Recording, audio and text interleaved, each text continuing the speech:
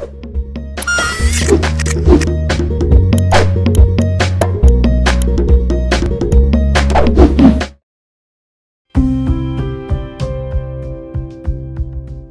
millennials would want something else. Generation x would want something else. There are certain desires that uh, both the generation x and millennials want. I think the difference is how strongly the millennials want it. In the current uh, working environment i don't think um, we have any kind of generation clash because most of the people are in the age group less than 50 so it's mostly uh, 20 to 35 no i'm quite lucky with this because i gel up well with people. So i believe like uh, if it is uh, somebody who's of a age uh, group like 30 to 40 then i know how to talk to them. And if it is like somebody younger than me then also i gel up well with them. So this is something i don't find difficult. It's not a clash you could say. It's a generation um, coming together. Millennials look for purpose in life because uh, they they don't um, they're not someone who probably like the previous generation or typical jobs would just clock in at, at nine, you know, do bare minimum work and clock out at five.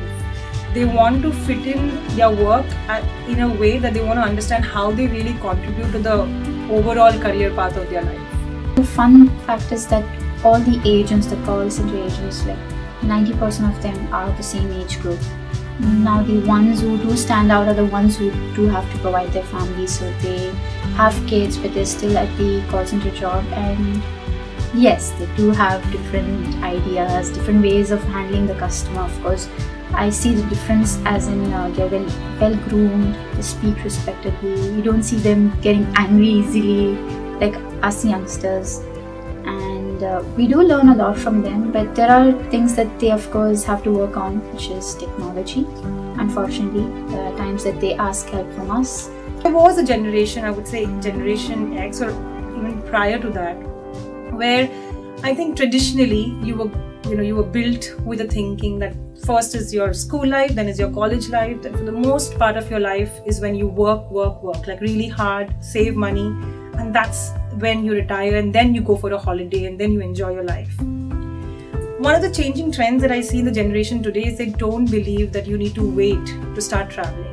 And travel has become a part of life. So they do look for jobs that offer flexibility. You know paid vacation time like i said or just unpaid leaves sabbatical leave to go enjoy my life. I'm not going to wait for 20 years 30 odd years when i don't even know whether i'm going to be alive or not